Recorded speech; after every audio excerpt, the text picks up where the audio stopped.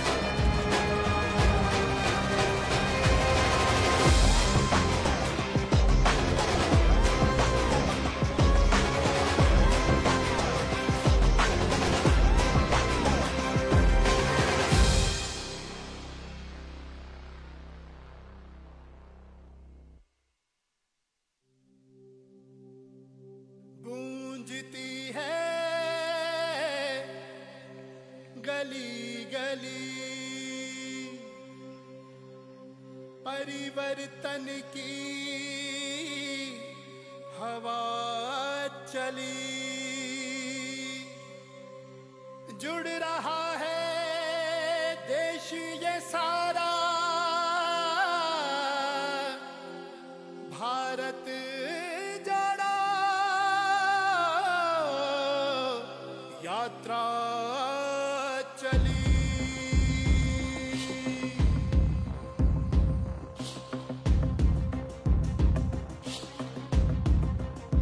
चल रहे हैं हम, सुन रहे हैं हम। देश की राहों में मिल रहे हैं कदम।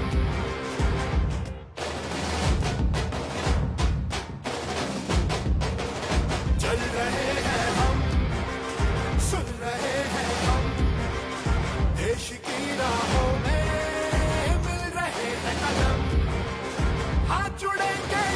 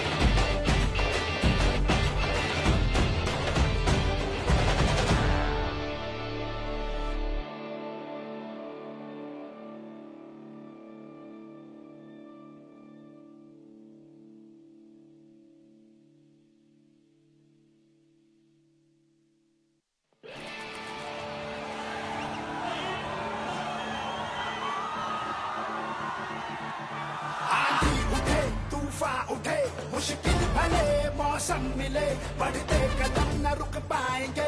कोई रोक सके तो रोक ले। आभास है, विश्वास है, जन जन में मन की आस है। अब तोड़ ना सके कोई हमें, ये हाथ से जुड़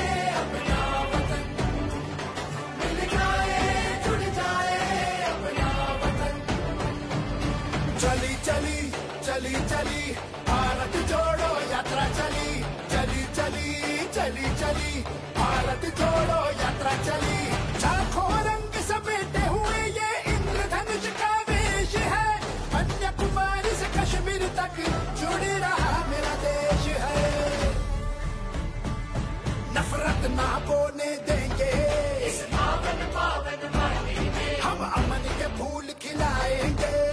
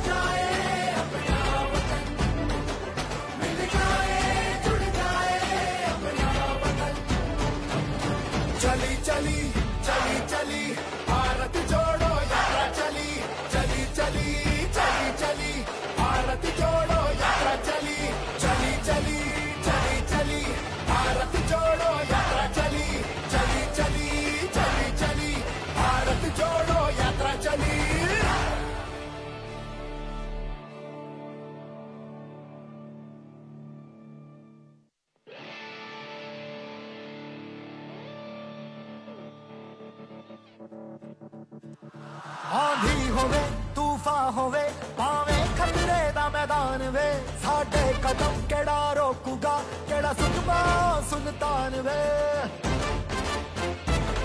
ਇੱਕ ਦੂਜੇ ਦੇ ਹੱਥ ਫੜ ਲੈਣੇ, ਝੰਡੇ ਹਰ ਥਾਂ ਤੇ ਗੜ ਦੇਣੇ, ਹਰ ਦੇਸ਼ ਵਾਸੀ ਦੀ ਸ਼ਾਨ ਦੇ ਮੋਤੀ ਅੰਬਰਾਂ ਤੇ ਜੜ ਦੇਣੇ। ਅਸੀਂ ਇੱਕ ਦੂਜੇ ਦੇ ਨਾਲ ਹਾਂ। ਅਸੀਂ ਇੱਕ ਤਦੀ ਨਾਲ ਸਾਡੇ ਹੁਣ ਕੌਣ ਚੱਲੂਗਾ ਦੱਸੋ ਨਾਲ ਸਾਡੇ ਹੁਣ ਕੌਣ ਚੱਲੂਗਾ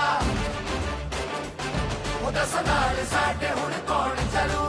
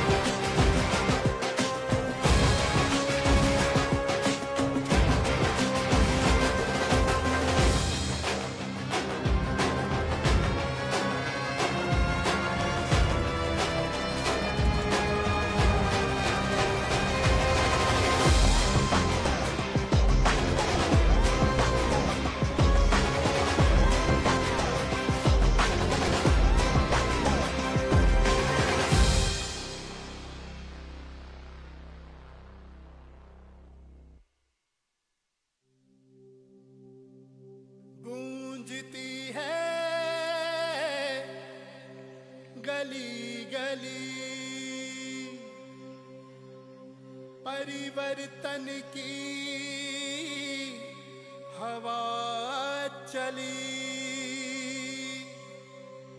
जुड़ रहा है देश ये सारा। भारत जड़ा।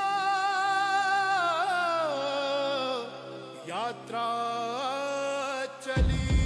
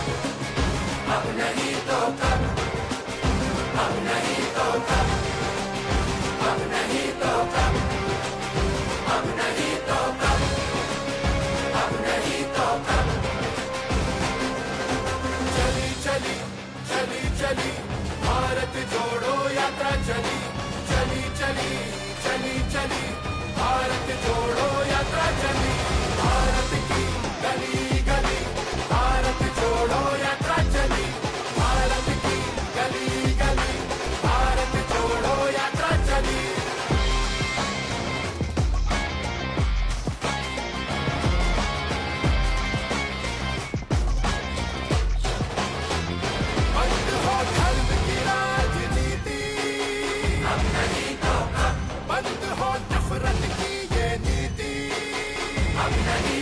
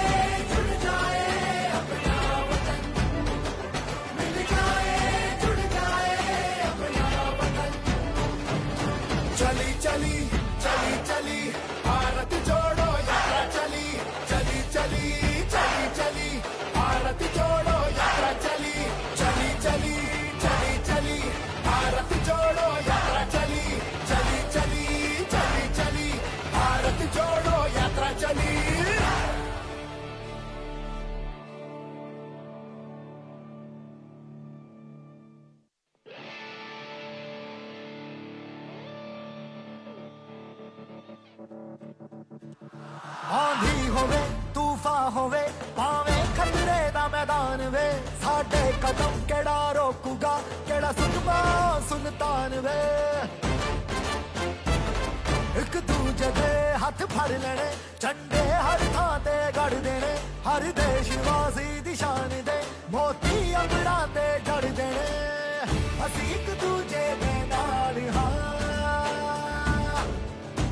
एक मिसाल हाँ।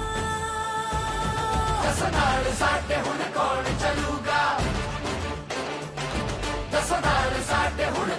चलूगा? ਦਸ ਨਾਲ ਸਾਡੇ ਹੁਣ ਕੌਣ ਚੱਲੂਗਾ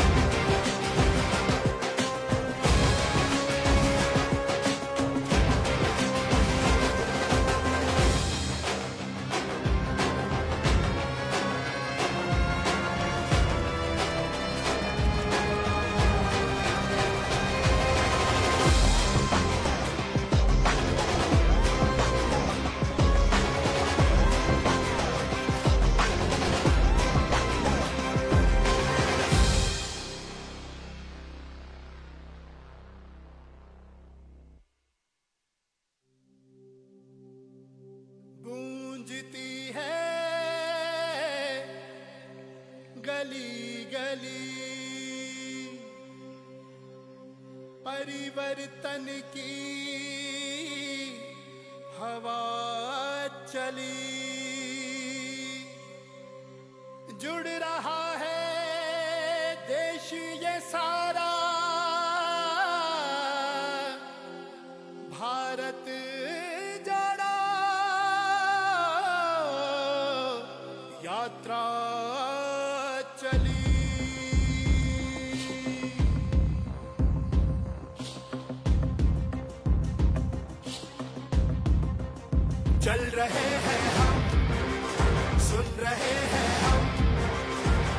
की राहों में मिल रहे कदम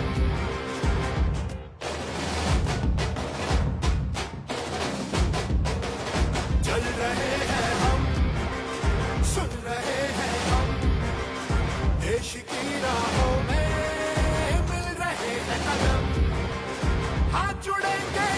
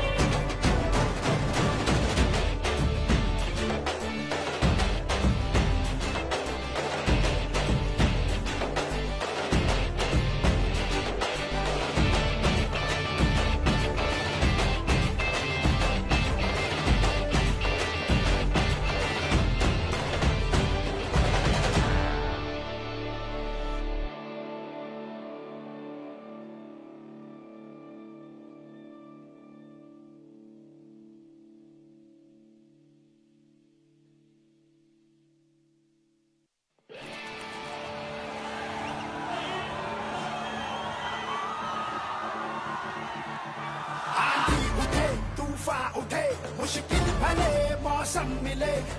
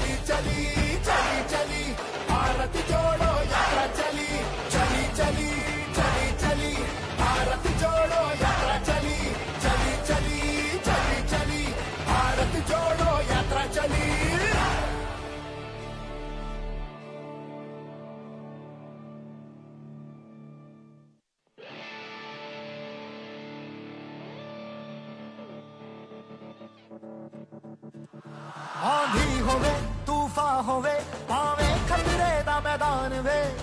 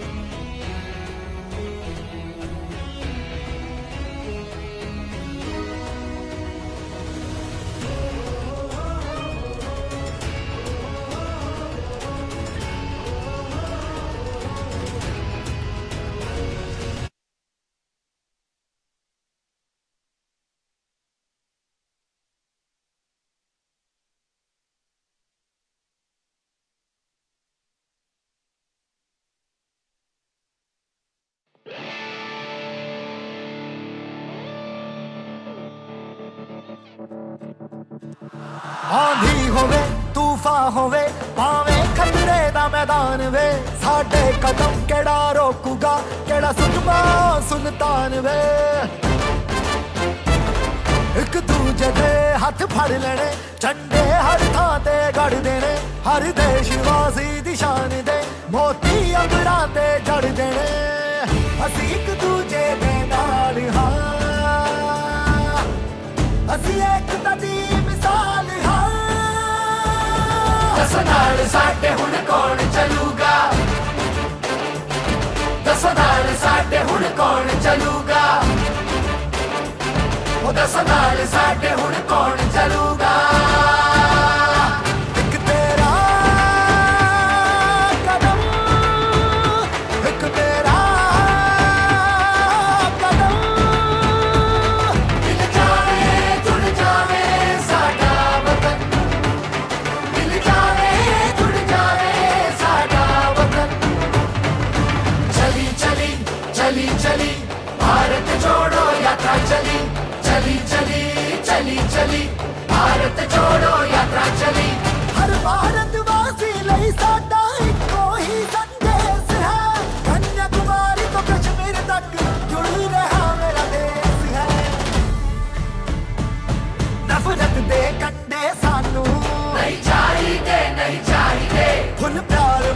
मोहब्बत वाले खिलाई दे खिलाई दे। मैं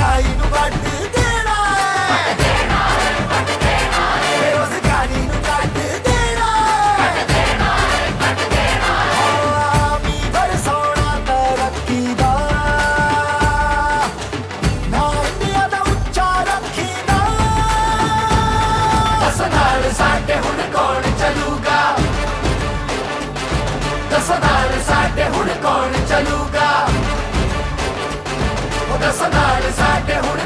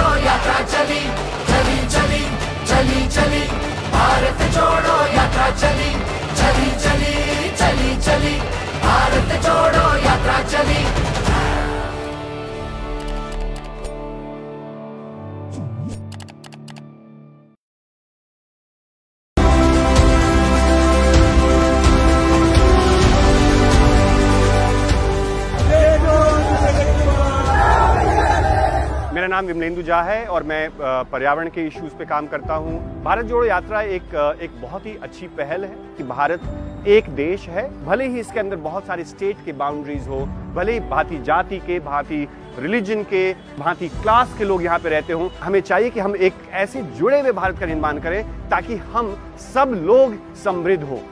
मेरा इस भारत जोड़ो यात्रा में जुड़ने का मेन मकसद ये है माहौल सुधरना चाहिए। माहौल में टॉक्सिसिटी है। उसी तरह पर्यावरण भी सुधरना चाहिए क्योंकि पर्यावरण में भी बहुत कचरा है बहुत ही टॉक्सिसिटी है। ये यात्रा यमुना के ऊपर से गई। यमुना कंप्लीटली काली थी। हमने प्रदूषण को नॉर्मलाइज कर दिया है। हमने टॉक्सिसिटी को, को नॉर्मलाइज कर दिया है अपने एयर में और अपने माहौल में अपने समाज में। और इसका इसका विस्थापन इसको कंट्रोल करना और इसको जीतना बहुत आवश्यक है। मेरे, मेरी जो बातचीत राहुल जी से आज सुबह हुई, वो यही हुई कि वो माहौल सुधारने के बारे में तो भारत जोड़ो यात्रा के ऊपर चर्चा कर ही रहे हैं। साथ ही साथ जब हम माहौल सुधारेंगे तो पर्यावरण भी सुधरेगा और अभी जब भी हम इसके बारे में चर्चा करते हैं, जब भी हम अपनी आवाज़ उठाते हैं, जो कि हमारा दायित्व है, हमारी ज़िम्मेदारी है, हमारा हक है, हमें राष्ट्र विरोधी या फिर सरकार विरोधी, या फिर ऑलमोस्ट एक एक फ्रिंज माना जाता है, जो कि एक बहुत दुर्भाग्यपूर्ण है। अगर एक भारत की परिकल्पना आप करते हैं, एक स्वस्थ भारत की परिकल्पना करते हैं, एक शांत भारत की परिकल्पना करते हैं तो भारत जोड़ो यात्रा में जुड़िए।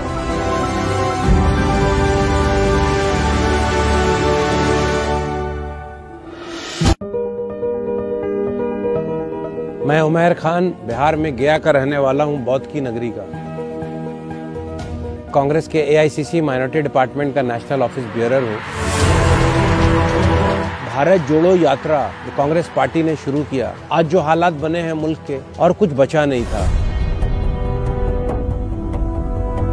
Is the government of the people for the people and by the people democracy का सबसे पॉपुलर डेफिनेशन है। वोट के महत्व को यहाँ के लोगों ने नहीं समझा। जब एक इंसान अपना वोट देता है तो उसी वोट पर लोकतांत्रिक व्यवस्था में उसका और उसके पूरे परिवार का सामाजिक, शैक्षणिक और आर्थिक जीवन निर्भर करता है।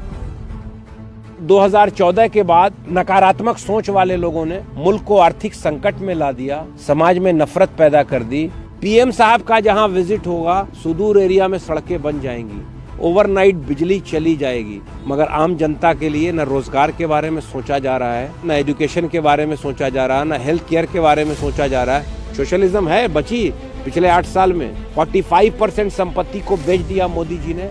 अडानी को धनी मनी किसने बनाया? हमारे पैसे से अडानी धनी मनी बना। हज़ारों करोड़ रुपए उनका लोन माफ़ करवा देती है सरकार। तो मुल्क आर्थिक गुलामी की तरफ़ जा रहा है। जब संसाधन नहीं होगा तो आप कुछ नहीं कर पाएँगे। This is the right time to hit the deck सड़क पर उतरकर आपको हल्ला बोलना पड़ेगा।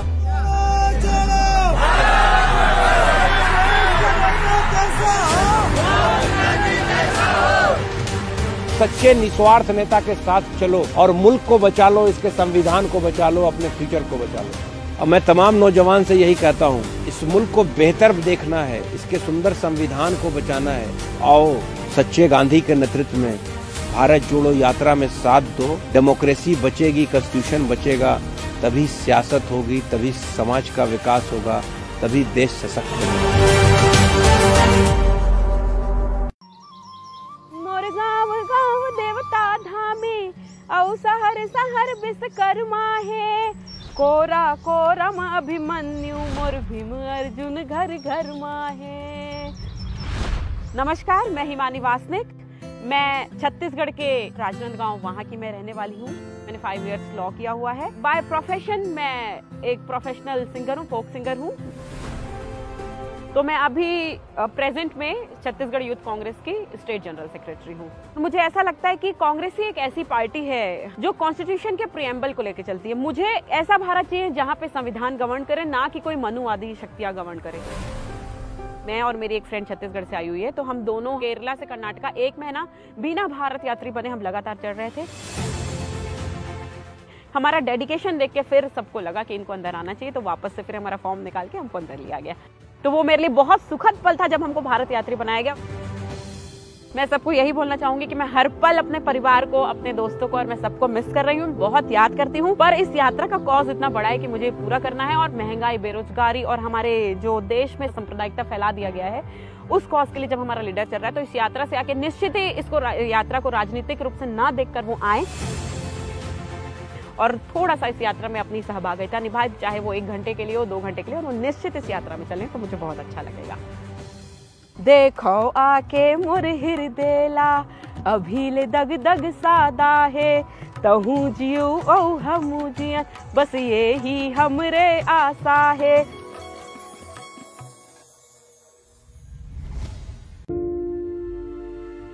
शुरुआत साढ़े चार बजे उठना पड़ता है। थोड़ा सा तैयार हो जाता हूँ और चॉल बैग टोपी उठा के मैं निकल पड़ता हूँ। And we are always sharp on time ये भी मुझे बहुत अच्छा लगता है।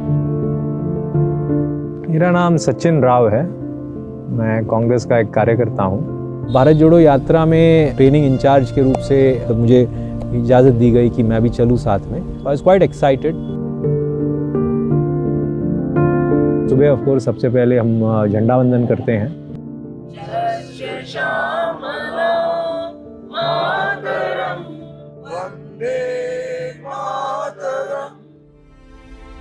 जोड़ो जोड़ो। कांग्रेस का जो आइडियोलॉजी तक मैं पहुँचा, वो सत्य को कबूल करके उसके आधार पर चलने का हिम्मत, ये मेरे लिए आइडियोलॉजी है। जनरली हम राहुल जी के आगे चलते हैं। ढाणियों से जाते हैं गाँव से जाते हैं। बहुत सारे लोग सड़क पे होते हैं जो हमें ग्रीट करने आते हैं। स्कूल्स पे बाहर निकलते हैं गाँव वाले बाहर निकलते हैं। कार्यकर्ता बहुत जगह एकत्रित होते हैं। एक तो उनका हौसला बढ़ाना। जोड़ो जोड़ो! दूसरा वो इतने खुशी से हमारा इंतज़ार कर रहे हैं तो थोड़ा उनको आनंद देना धन्यवाद बोलना राम राम सा बोलना। क्या नाम है गाँव का? कल्याणपुरा। मैं भारत यात्री यात्री यात्रा में चल रहा हूँ। बहुत बढ़िया। जी जी जी। राम राम, ख्याल रखिए। फिर हम आते हैं रेस्ट पॉइंट पे और यहाँ पे हम लगभग नौ, साढ़े नौ तक पहुँच जाते हैं तो साढ़े तीन बजे तक रहते हैं यहाँ पे। थोड़ा सा आराम करते हैं। मैं एक अपना एक किताब भी ले आता हूँ जनरली कुछ रीडिंग कर रहा हूँ तो किताब ले आता हूँ। कुछ अन्य कामों का मीटिंग्स वीटिंग्स है तो इस टाइम पे स्केड्यूल कर लेता हूँ मैं। तीन से पाँच का जो वॉक होता है यू नो वार्म्ड अप होते हैं और इस मौसम में ज़्यादा गर्मी भी नहीं होती, ठंडी भी नहीं होती और हम आगे चलते हैं तो लोग सारे मोबिलाइज होते हैं, बहुत सारे लोग सड़क में मिलते हैं। ग्रेट वॉक मतलब वो बिल्कुल इस देश को ग्रहण करने का एक एक्सपीरियंस उस टाइम में मुझे होता है। जब भी हम इस यात्रा के बारे में समझते हैं तो 25-25 किलोमीटर रोज चलना, रोज सुबह उठ के शाम तक आसान काम नहीं है। He is literally glowing with love he is become an engine that gives love to others I think this happens rarely in humankind. I just feel very, very privileged to walk and know this man.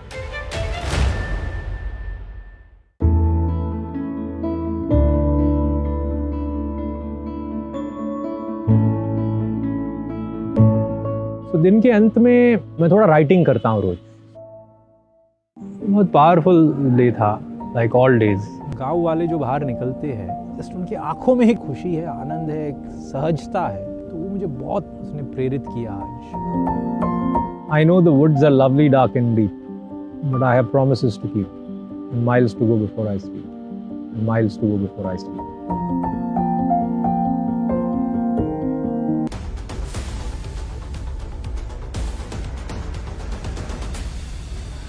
मैं श्याम सुंदर जानी, मैं government डूंगर college Bikaner में associate professor हूँ। जब हम लोकतंत्र की बात करते हैं तो लोकतंत्र तभी सफल होता है जब उसमें सामाजिक और आर्थिक लोकतंत्र की बात हो। तो भारत जोड़ो यात्रा उस इंक्लूसिवनेस के लिए पब्लिक से कनेक्ट होने का एक जमीनी प्रयास है।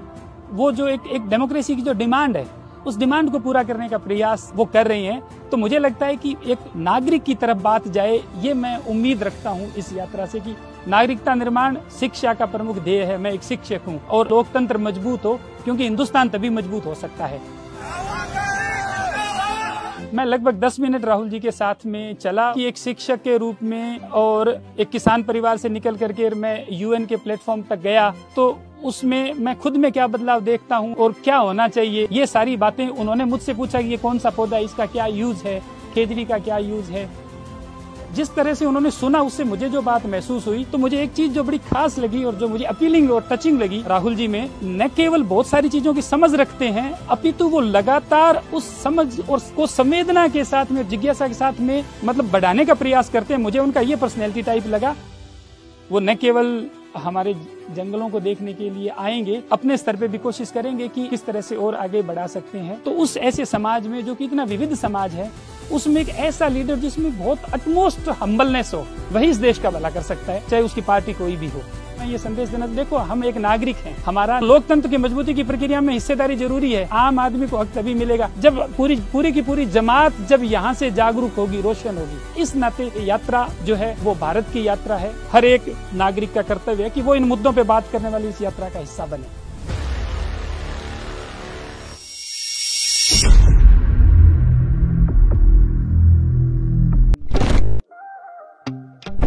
तो दोस्ती सबसे हो रही और एक दोस्त मेरा निरंजन, छोटे भाई के रूप में मिला। जो पहले महात्मा गांधी, पंडित जवाहरलाल नेहरू और भीमराव अंबेडकर जो पंक्ति थी, आज मेरा मानना है उनकी पंक्ति में लाके खड़ा कर दिया। चलते हुए जो लोगों के साथ भाईचारा, प्रेम, प्यार बांटते हुए चल रहे हैं, अपनी बात नहीं, लोगों की बात सुन रहे हैं। और सुन के देश को जोड़ने के लिए और एकता अखंडता में बांधने के लिए इस यात्रा को चलाए हुए हैं। आज वो हमारे को देखने को मिल रहा है, वो कितने अच्छे इंसान है और कितने मज़बूत इंसान है। उनको वैसे मैं मिस भी करता हूँ अपने परिवार फैमिली को, पर वो जिस प्रकार मेरा हौसला और जज्बा बना के रखता है, मैं उनको सलाम करता हूँ।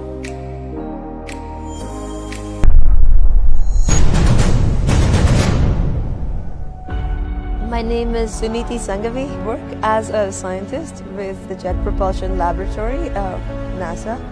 I've been watching the Bharat Jodo Yatra ever since it started in September. It was my big dream to come here and came here so that I feel the energy of this procession. It is a big statement of love and compassion in an atmosphere that otherwise is pervaded by fear and hate and violence. It's a breath of fresh air to be here. Rahul Gandhi doesn't make tall claims, he doesn't make bombastic promises, but he does try to get to the root of the matter. He tries to develop an in depth, honest understanding of reality the way it is. He has a strong grasp of the facts and he has his heart in the right place. Once the, the will is there for the truth, the path has to follow. There's no question about it. If there's anyone to be taken seriously on the Indian political landscape, it's him. India has shown the way to the world before, and with the Congress, it will show the way again. I hope dearly that civil society steps up, both in India and in the Indian diaspora, and invites Congress spokespeople to make their points, to uh, share their visions. If anything, it's going to invite more people in a conversation that leads to a sustainable solution. We are a country of 1.4 billion people. We are a sixth of the world. The way we conduct ourselves will have strong effect on the world. For me, it gave me a tremendous reassurance that truth is not dead, that love and responsible governance is not dead. So I think it's a great start and we should only grow from here.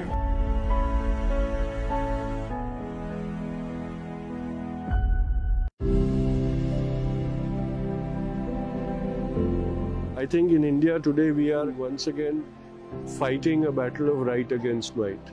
And we must all associate with the truth. जब आंधी आती है ना कहते हैं कि तो एक दूसरे का हाथ थामने का टाइम आता है The beauty of oneness, the beauty of let's stand up against hate. यहाँ जो ऊर्जा है इस यात्रा की वो आपको हर थकान हर डिस्टेंस सब कुछ भुला देता है हम देखेंगे लाजिम है कि हम भी देखेंगे हम देखेंगे This divisiveness, this polarization should go. Always believed in a dialogue, which is a two-way traffic and not one ki baat.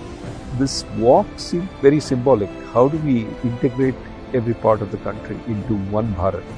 And I think if we do that, we will be very strong. So India has to go from collection mentality to production mentality. And I hope more people join because the battle against hate is critically important. I stood before the mirror and looked at myself and asked myself a question. This is the time when the country needs you. So I heard a voice from within. कमल भारत तोड़ने की मदद मत करो जोड़ने की मदद जब तुम अपने मस्तक पर बर्फ़ का पहला तूफ़ान झेलोगे और कांपोगे नहीं तब तुम जान पाओगे कि कोई फ़र्क नहीं सब कुछ जीत लेने में और अंत तक हिम्मत ना हारने में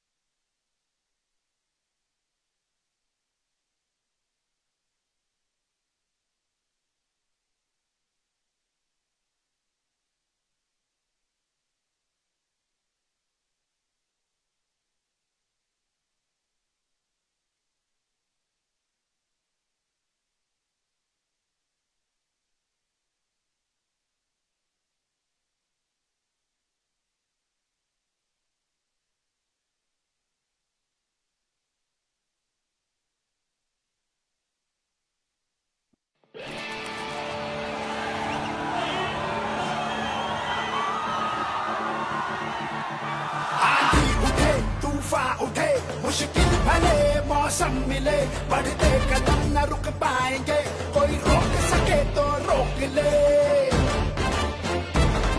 आभास है, विश्वास है, जन जन में मन की आस है, अब तोड़ ना सके कोई हमें, ये हाथ से जुड़ते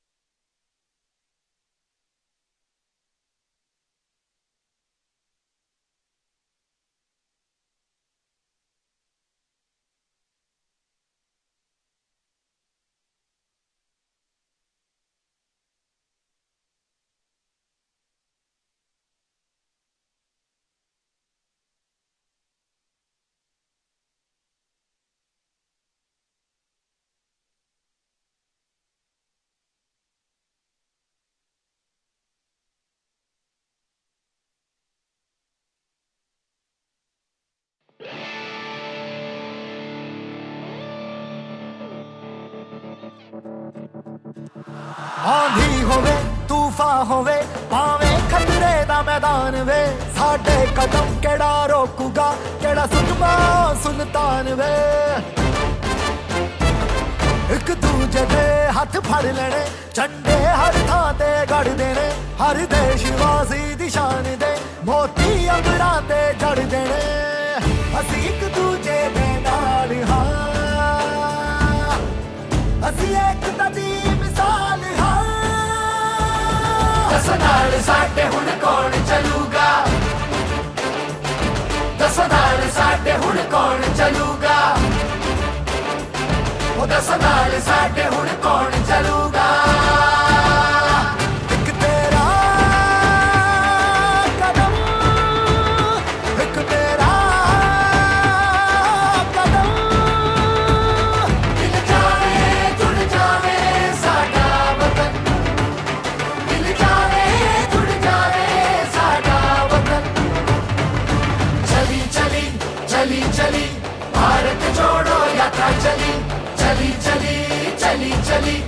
Fight at the top.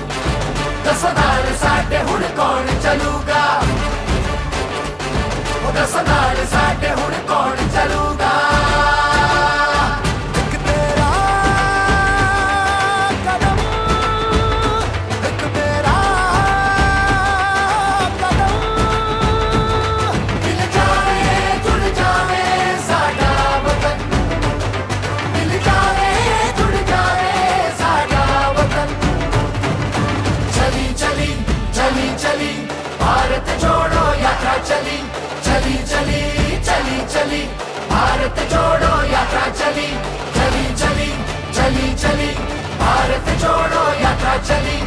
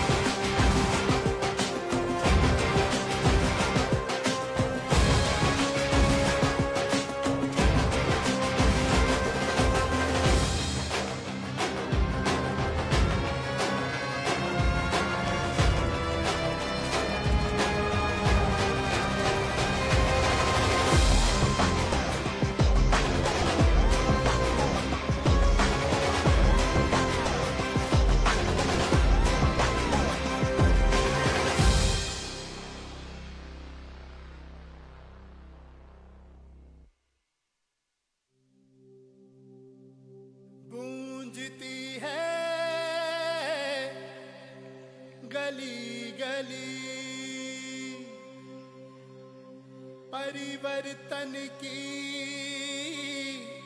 हवा चली। जुड़ रहा है देश ये सारा। भारत जड़ा यात्रा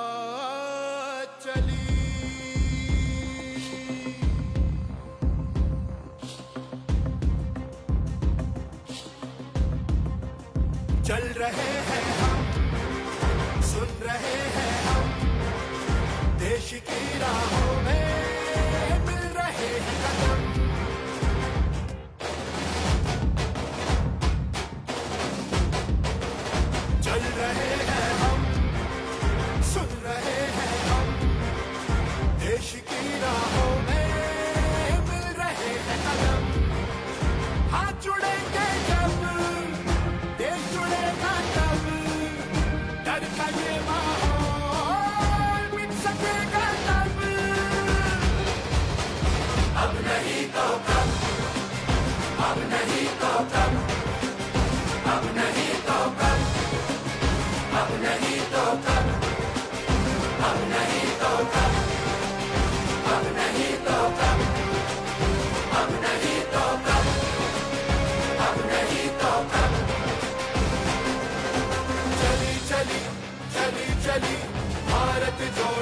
यात्रा चली चली चली चली चली।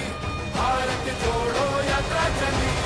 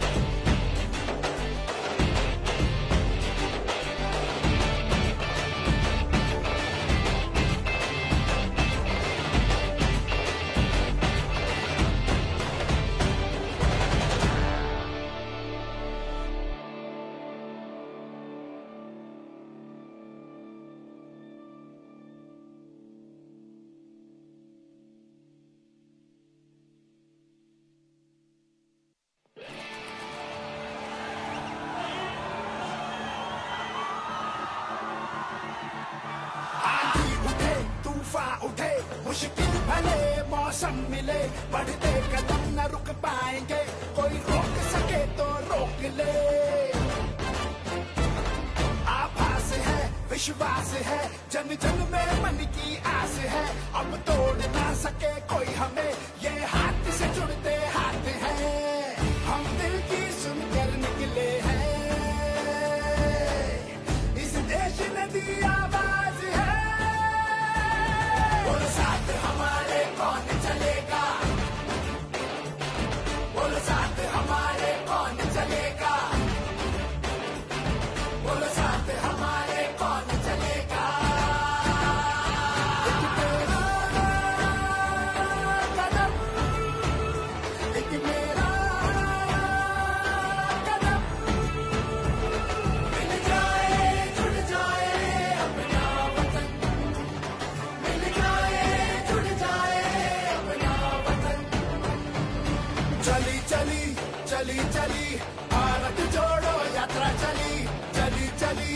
చలి చలి భారత్ జోడో యాత్ర చలి.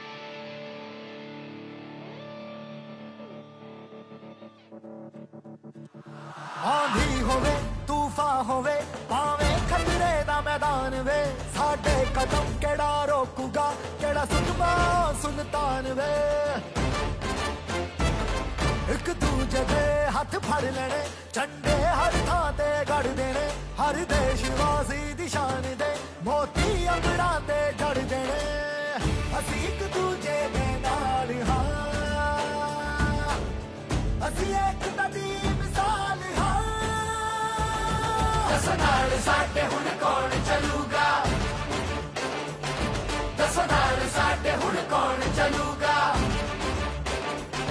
ਉਹਦਾ ਸੰਭਾਲ ਸਾਡੇ ਹੁਣ ਕੌਣ ਚੱਲੂਗਾ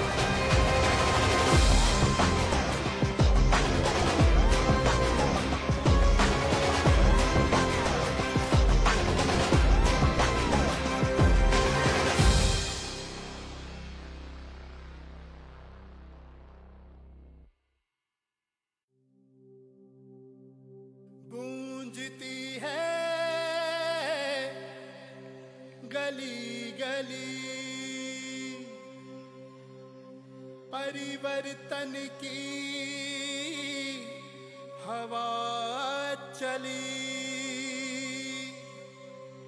जुड़ रहा है देश ये सारा बाजवा जी सीएलपी लीडर से निवेदन करना चाहता हूं कि सभा को संबोधित करें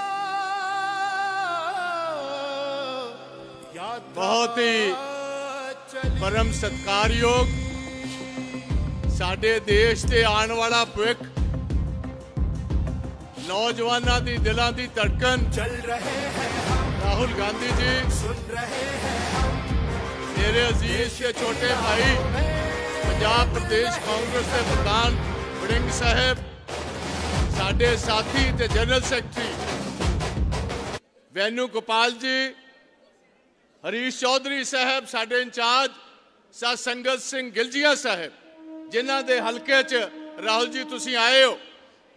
ਤੇ ਸਾਡਾ ਭਤੀਜਾ ਇੰਦਰਬੀਰ ਸਿੰਘ ਬੁਲਾਰੀਆ, ਜਿਸ ਨੇ ਇਸ ਖੂਬਸੂਰਤ ਪ੍ਰੋਗਰਾਮ ਨੂੰ ਅੱਜ ਸਾਰੇ ਨੂੰ ਇਕੱਤਰਿਤ ਕੀਤਾ।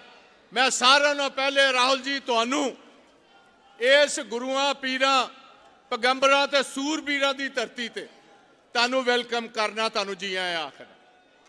ਰਾਹੁਲ ਜੀ, ਸਿਕੰਦਰ ਆਜ਼ਮ ਰਾਹੁਲ ਜੀ, ਮੇਰੇ ਵੱਲ ਥੋੜਾ ਧਿਆਨ ਕਰਿਓ ਸਿਕੰਦਰ ਆਜ਼ਮ ਦਾ ਰੱਥ ਹਜ਼ਾਰਾਂ ਸਾਲ ਪਹਿਲੇ ਪੋਰਸ ਨੇ ਪੰਜਾਬ ਦੀ ਇਸ ਧਰਤੀ ਤੇ ਪਾਬੰਦ ਕੀਤਾ ਸੀ, ਰੋਕਿਆ ਸੀ ਤੇ ਸਾਨੂੰ ਪੂਰਨ ਵਿਸ਼ਵਾਸ ਹੈ ਕਿ ਨਰਿੰਦਰ ਮੋਦੀ ਦਾ ਇਹ ਰੱਥ ਰਾਹੁਲ ਗਾਂਧੀ ਜੀ ਆਂਦੇ ਸਾਲਾਂ ਵਿੱਚ ਰੋਕਣਗੇ।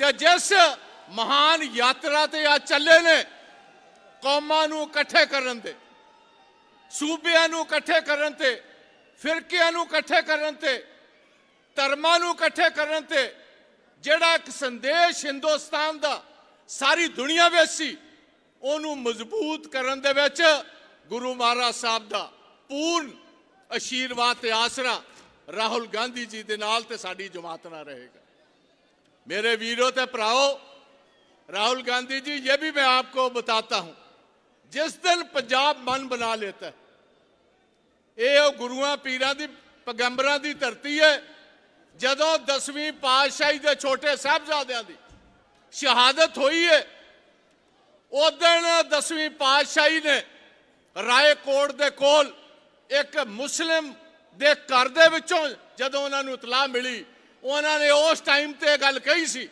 ਕਿ ਨਾ ਮੁਗਲਾਂ ਨੂੰ ਹੁਣ ਜੜੋਂ ਖੇੜਨ ਦਾ ਸੀ ਫੈਸਲਾ ਕਰਾਂਗੇ। ਉਹਨਾਂ ਨੇ ਉਸ ਟਾਈਮ ਘਾਹ ਪੁੱਟ ਕੇ ਸਾਰੇ ਹਿੰਦੁਸਤਾਨ ਨੂੰ ਸੰਕੇਤ ਦੇ ਦਿੱਤਾ ਸੀ ਕਿ ਮੁਗਲਾਂ ਨੂੰ ਇੱਥੋਂ ਹਮੇਸ਼ਾ ਵਾਸਤੇ ਤੋੜ ਦਿੱਤਾ ਜਾਏਗਾ।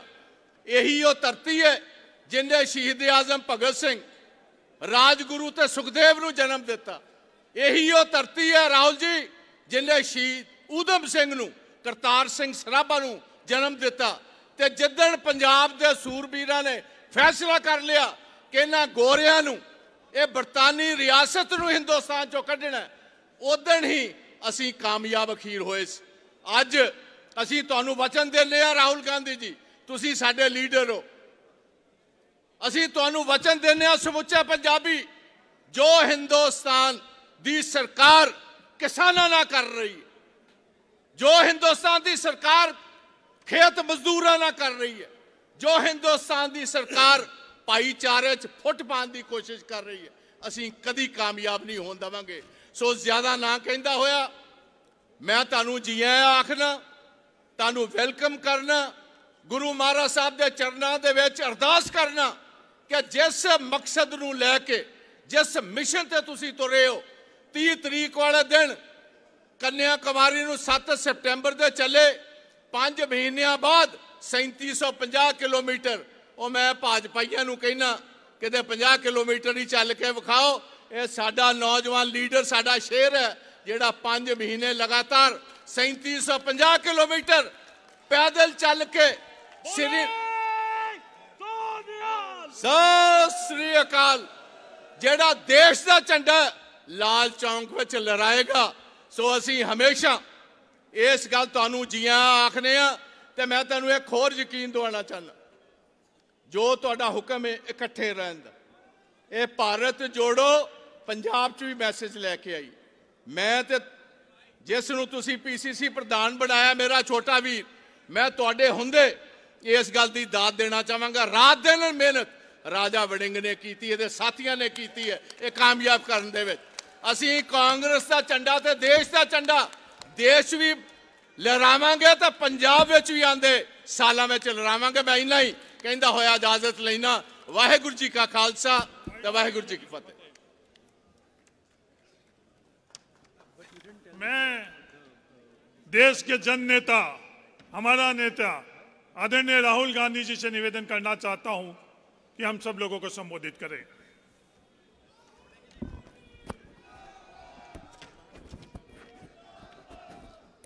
थोड़ा भैया बाजू जी थोड़ा पीछे हो जाएंगे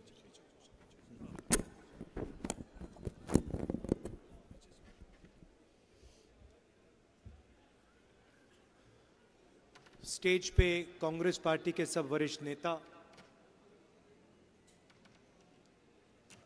हमारे प्यारे कार्यकर्ता, ठीक प्यारे कार्यकर्ता,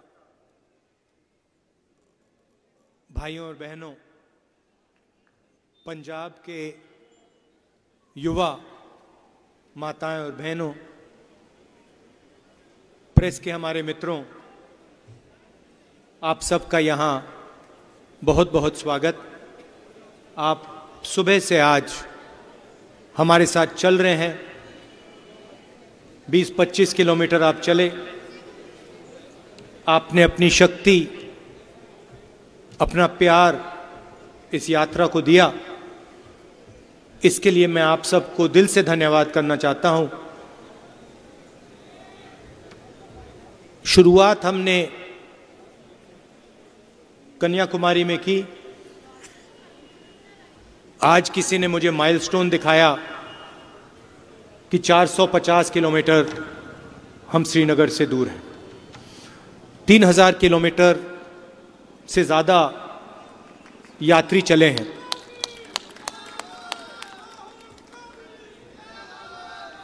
चलने के टाइम सब यात्रियों के को लगा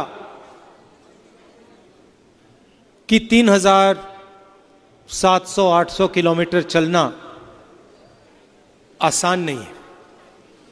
मैंने भी सोचा, पहले दो तीन दिन में मैंने सोचा, भाई 50 किलोमीटर हुए हैं, अब 3800 चलने हैं। अजीब सी बात हुई। पाँच छह दिन बाद थकान बिल्कुल गायब हो गई। सुबह उठते थे, पंद्रह किलोमीटर चलते थे। शाम को दस ग्यारह और किलोमीटर चलते थे और फिर हैरान हो जाते थे क्योंकि थकान ही नहीं हो रही। सोचते थे कि ठीक है, आज नहीं हुई, पहले दस पंद्रह दिन नहीं हुई तो एक महीने बाद होगी। एक महीने बाद नहीं हुई, दो महीने बाद नहीं हुई, तीन महीने बाद नहीं हुई, चार महीने होने वाले हैं अब। और मैं अपनी बात नहीं कर रहा हूँ। सब यात्रियों की बात कर रहा हूँ। रास्ते में बारिश हुई, तूफ़ान आए, गर्मी, पसीना, सब कुछ हुआ। मगर थके नहीं। इसका कारण है। ये हम अपनी शक्ति का प्रयोग नहीं कर रहे हैं। हम आपकी शक्ति का प्रयोग कर रहे हैं। आपकी शक्ति हमें पीछे से धकेल रही है। और इसीलिए हम सुबह जैसे फ्रेश उठते हैं, वैसे ही हम रात को फ्रेश सोते हैं। क्यों? क्योंकि आपका प्यार आपकी इज़्ज़त, आपकी मदद हमको मिल रही है। इस यात्रा में लोगों को चोट लगी।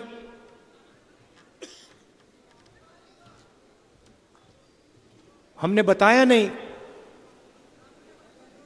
मगर पाँच छह लोग शहीद हुए हैं, चलते हुए शहीद हुए हैं।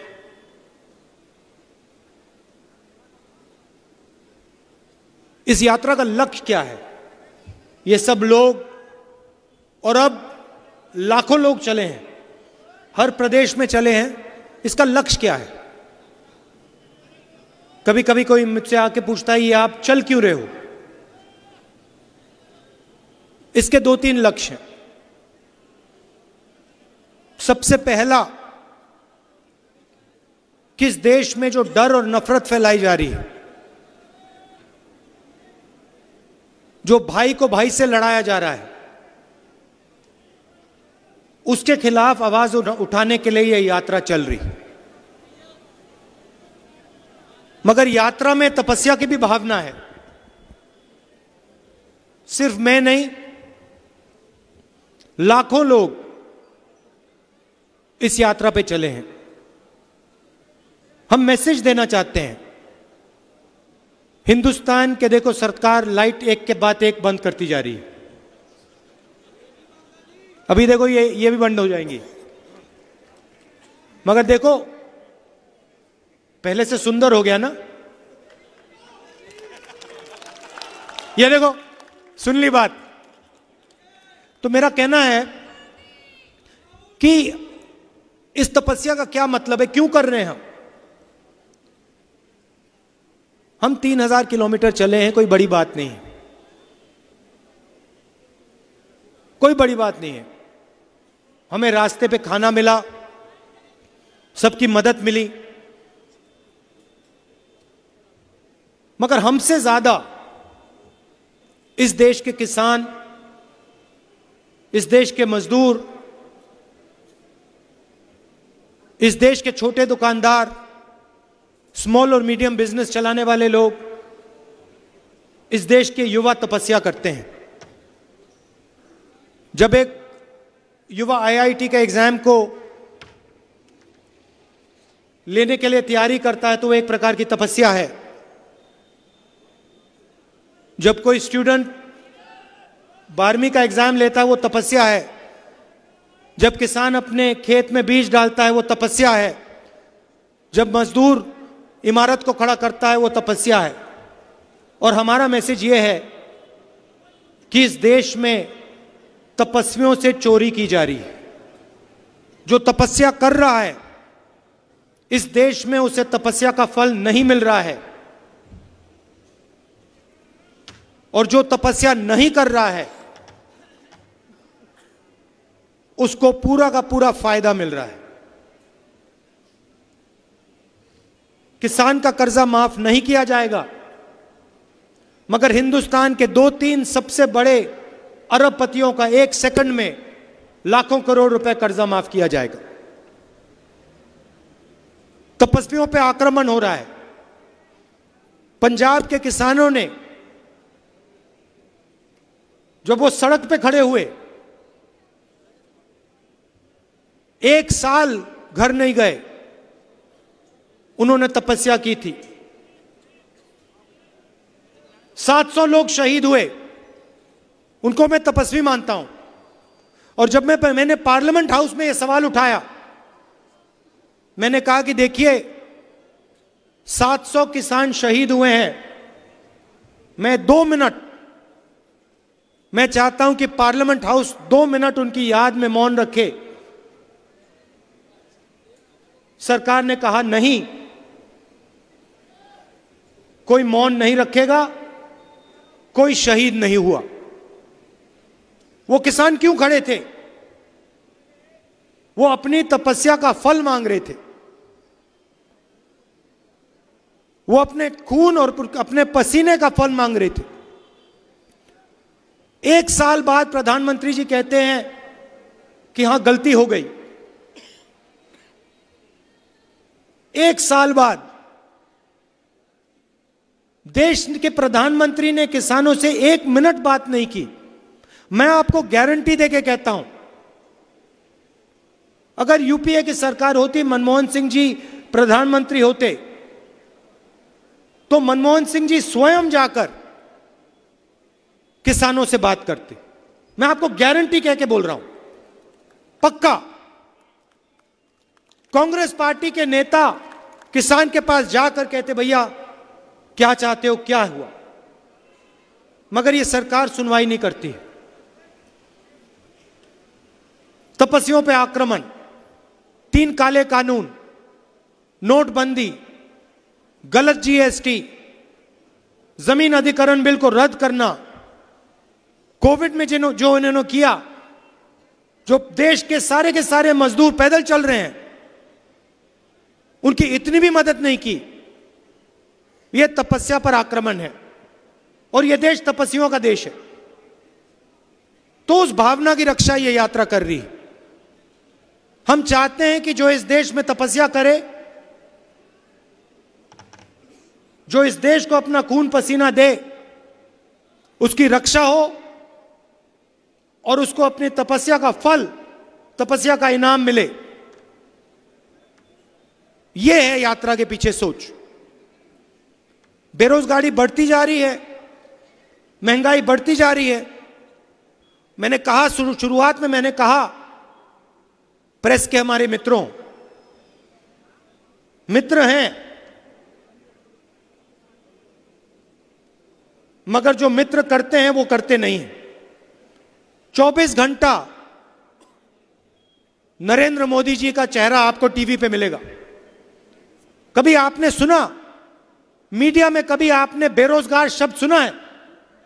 कभी सुना आपने कि देश में बेरोजगारी है? मीडिया ने कभी महँगाई की बात करी है? कभी नहीं। यह हिंदुस्तान की सच्चाई है। पार्लियामेंट में हम मुद्दा उठाने की कोशिश करते हैं, माइक ऑफ़ कर देते। कहते, पार्लियामेंट में नहीं बोल सकते। अग्निवीर योजना पे नहीं बोल सकते। चाइना हिंदुस्तान के अंदर आ गया, उसके बारे में नहीं बोल सकते। जीएसटी के बारे में नहीं बोल सकते। नोटबंदी के बारे में नहीं बोल सकते। इसलिए हमें रास्ता, सड़क का अपनाना पड़ा। इसलिए हम कन्याकुमारी से कश्मीर चले और बहुत ज़बरदस्त रिस्पांस मिला। बहुत सीखने को मिला। मैं आपको बता रहा हूँ, आप किसी भी यात्री से पूछो जो हमने पिछले तीन चार महीनों में सीखा, ज़िंदगी भर में नहीं सीखा था पहले। जो आपने हमें समझाया, हिंदुस्तान के किसान ने, मजदूर ने, युवाओं ने जो हमें सिखाया, तीन महीने में, चार महीने में जो आपने सिखाया, पहले हमने नहीं, सालों में नहीं सीखा। तो मैं आपका दिल से धन्यवाद करना चाहता हूँ। ये जो महँगाई बढ़ती जा रही है इससे चोट किसको लगती है? किसान को लगती है। मजदूर को लगती है। बेरोजगारी की चोट हिंदुस्तान के अरबपतियों को नहीं लगती। उनके बच्चों को नहीं लगती। हिंदुस्तान के आम नागरिक के बच्चों को लगती है।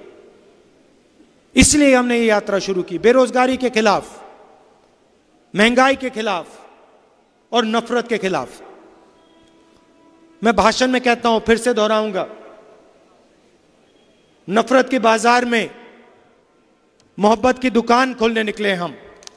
और सिर्फ़ मैं नहीं, सिर्फ़ मैं नहीं, लाखों हिंदुस्तानी, करोड़ों हिंदुस्तानियों ने पिछले चार महीने में नफरत के बाज़ार में मोहब्बत की दुकान खोली है। आप देखिए, बीजेपी जो भी कोशिश करे जितना भी इस यात्रा की बुराई करे, कुछ फ़र्क नहीं पड़ता। क्योंकि जनता को मालूम है कि इस यात्रा में सच्चाई है। आपके जो गुरु हैं, उन्होंने ये रास्ता दिखाया है। ये नया रास्ता नहीं है।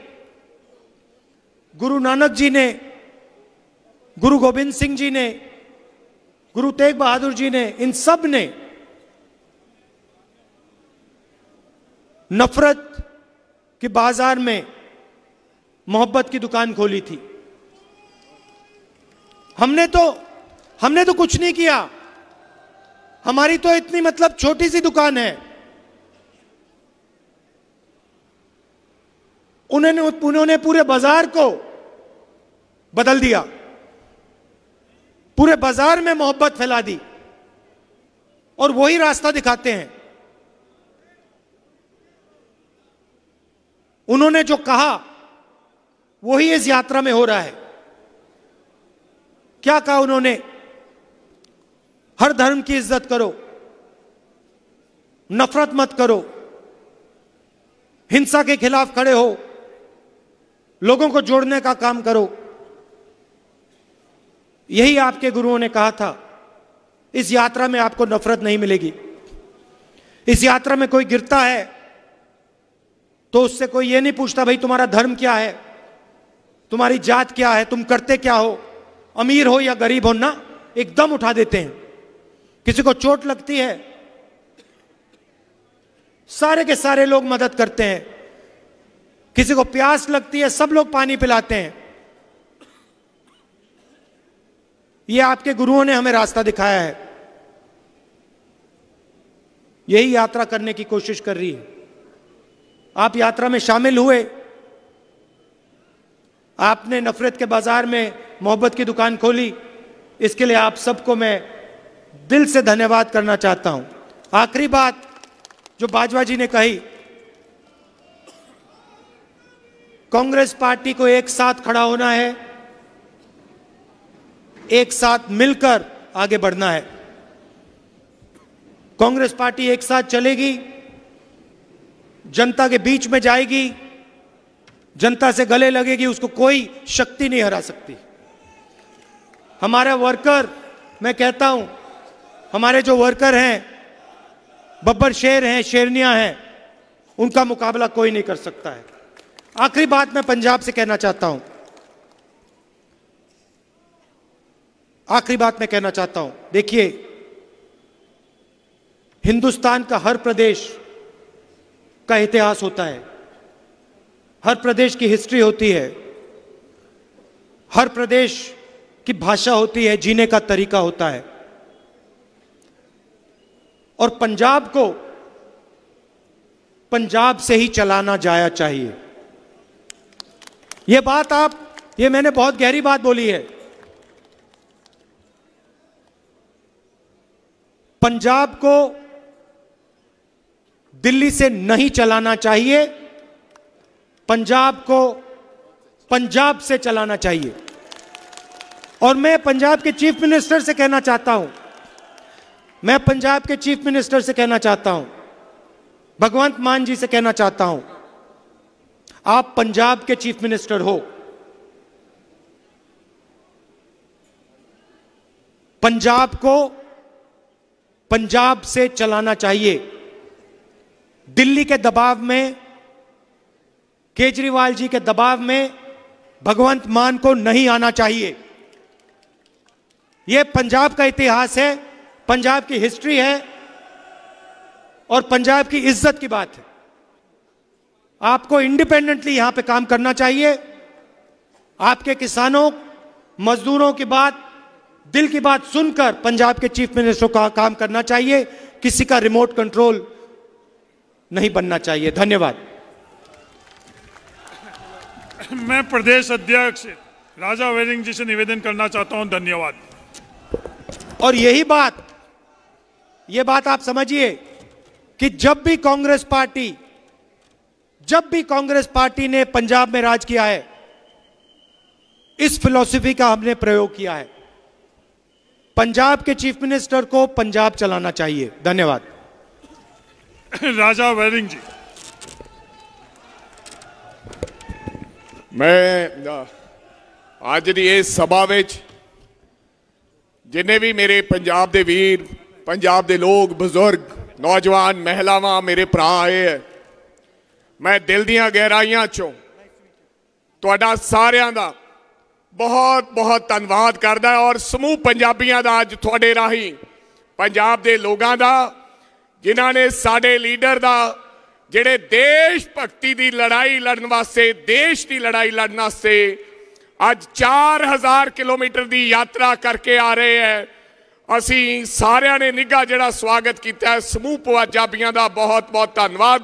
ਤੁਹਾਡਾ ਵੀ ਸਾਰੇ ਸਾਥੀਆਂ ਦਾ ਬਹੁਤ ਬਹੁਤ ਧੰਨਵਾਦ ਤੇ ਮਿਹਰਬਾਨੀ। Jai Hind. Thank you best of luck कितने